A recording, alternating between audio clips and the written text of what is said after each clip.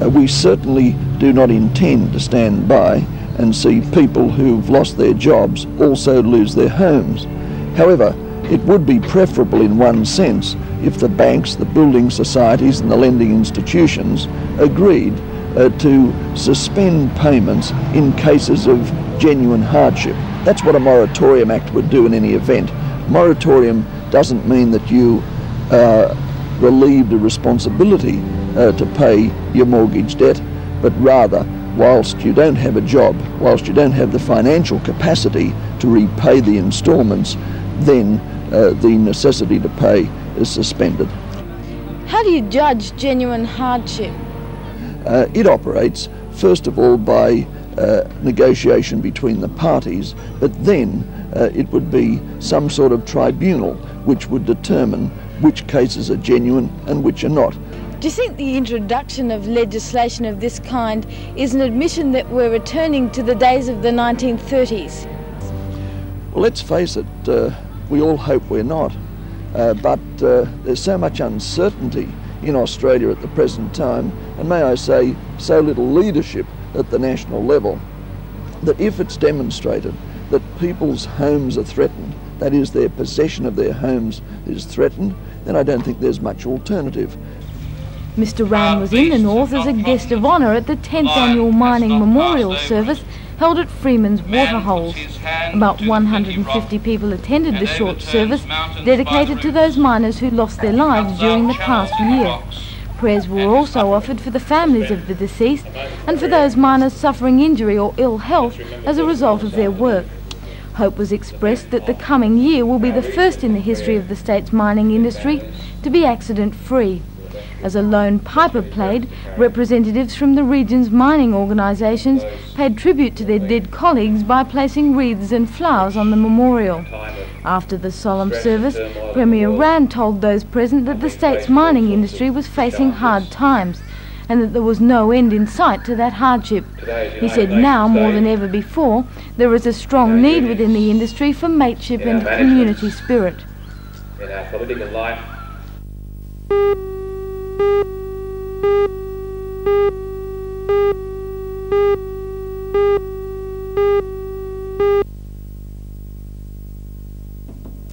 Mr Morris claims that funds allocated for national highways under the Bicentennial Roads program are shaping up to be billions of dollars short of the upgrading standards promised by the government.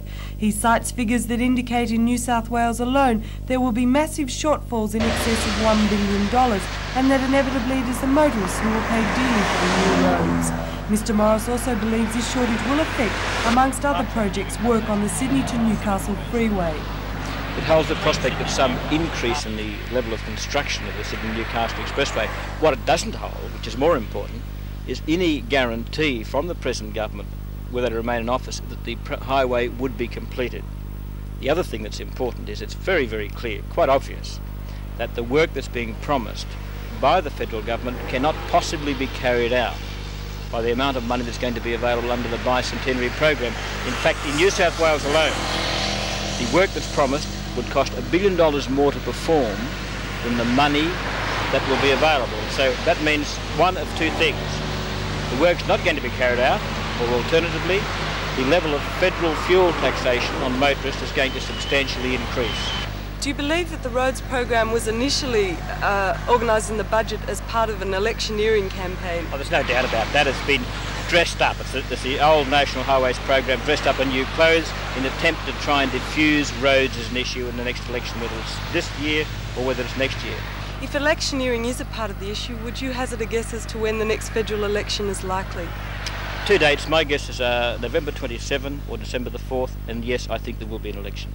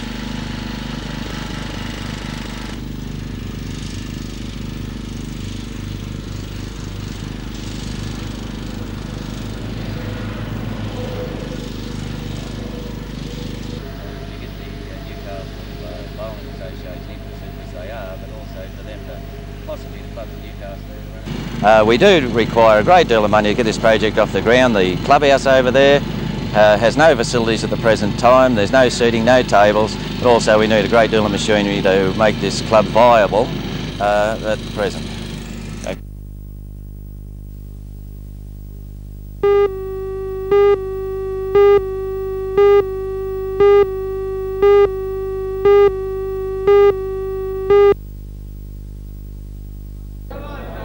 Jimmy Bowen was the first to fill the canvas last night when Charlie Brown hit the left-hand side of the jaw. Bowen got up, took the count, and continued with the fight and proceeded to build up a big point score in the fourth, fifth and sixth rounds with good left-right combinations. In the tenth round, Brown was the one that came under severe punishment from Bowen the referee Joe Reardon stepped in and supplied the eight count again. But Brown wasn't finished and again sent Bowen to the canvas.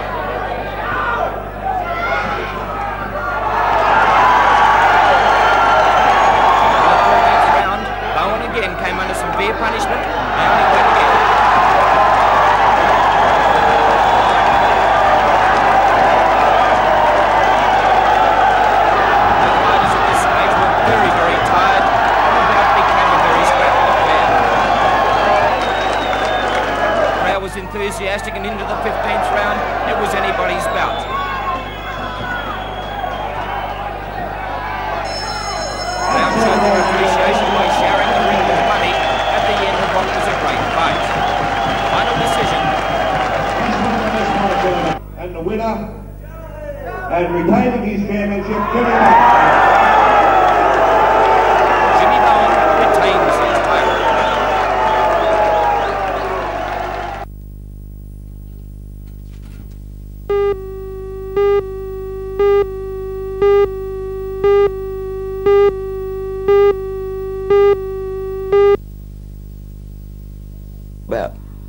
It's a seminar designed for parents, coaches, sports administrators, anyone involved in sport at all. And the objectives of the, of the seminar are to create an awareness that competitive sport really suits the talented child. And we're trying to get a message across to give these normal, as we call it, children the opportunity to develop their skill and enjoy more participation in sport.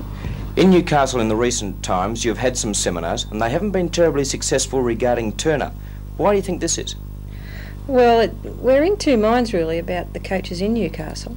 We, we don't really understand why they don't want to come along to our seminars. We think maybe they're up to level two, they think they're up to level two, and it's a catch 22 situation where they can't do level two until they've done level one. We are providing a service in that all the coaching courses are supposed to be conducted by state organisations because they have a problem getting out to all the regions, and we've introduced this general principles course to help them attain level one without waiting for their state association to contact them. Who are some of your guest speakers tomorrow night?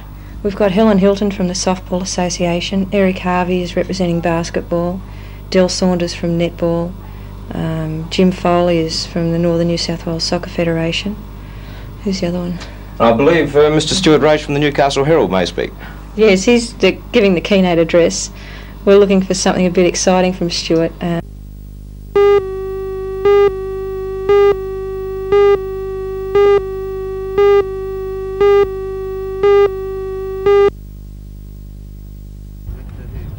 The opening session of day two once again belonged to England as they lost just one wicket for the addition of 101 runs.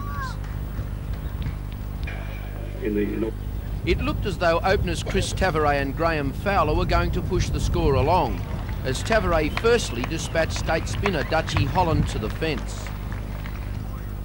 Graham Fowler followed suit with this four, also from the bowling of Holland. One run later, though, the leg spinner got revenge when he had Fowler caught at short forward square by former international Gary Gilmour for England to be one for 46. Incoming batsman match captain David Gower was put to the test by Holland with some tidy bowling. Later in the session, both Tavaré and Gower got on with the job.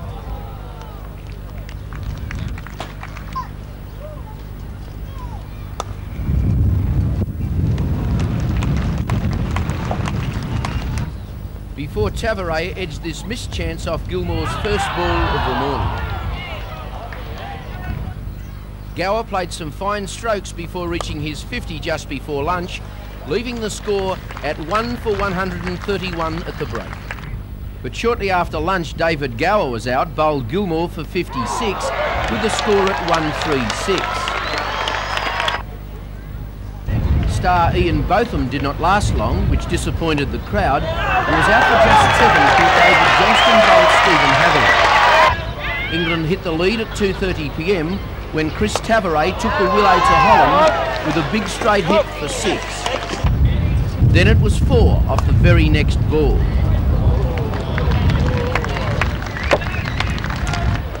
Derek Randall had come to the crease and looked sharp, but was almost out to a stumping attempt by former state keeper Kerry Thompson. Randall's first four came from medium pacer Tim Towers.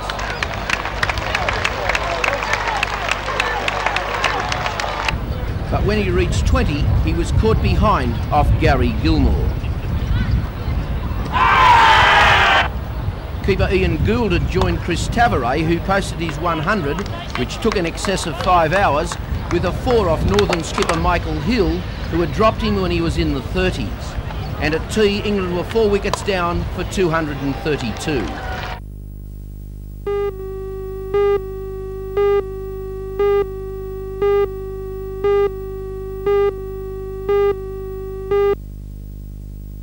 Who was standing for president? We have two nominations for the um, presidency, the vacant position. They are namely Neville Lydiard and Jack Winney, both retiring directors of the Rugby League. What about the nominations for the board? For the board, we have a total of 15 nominations. Four again of the retiring directors are re, have re-nominated: Ted Dawson, Glenn Maloney, Jim Hatton, and Jack Winney. Uh, the new ones in the field are Mr. Wayne Kerry, Ted Sharp, Lee Morn, John Geddes, Jack Thomas, Michael Hill, Kevin Lynch, Gary Leo, Gary Daly, Basil O'Brien and John Walker. How many seats are going to be contested? Well, there actually um, there's the presidency seat. Of course, there is seven directors, so um, we have at this stage a field of 15 for the um, positions of the seven directors. You'd be very, very happy with the number of nominations. Yes, well, it shows that rugby league is still uh, right at the forefront, and we have uh, a lot of people that are willing to um, move in and um, help assist in the administration of rugby league. Very encouraging. Graham,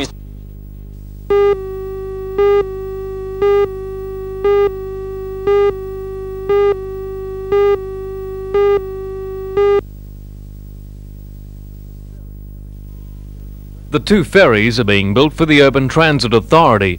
Today we went on board the ferry Freshwater, which is destined for service on Sydney Harbour. The Freshwater has a crew of five, plus a skipper and engineer. The 70 metre ferry can carry up to 1,100 passengers. Today, final checks were being made on the two Daihatsu diesels, which power the ship at a top speed of 18 knots. The Freshwater will be chartered out to do coastal runs as well as regular harbour work. Her twin sister, the Queenscliff, is still in the building stages, but represents the last ship to be built at the dockyard. The Queenscliff uh, is due for launch on the 4th of December and uh, possibly uh, April, May next year handover. Is that the last of the shipbuilding for the dockyard? That's the last of the shipbuilding for State Dockyard, unfortunately. After the Queenscliff is completed, more men will be laid off, but none are expected to lose their jobs before Christmas. Some tradesmen have not been allowed to take up the early retirement offer to maintain the ship repair section of the dockyard, one of the few sections still operating at a profit.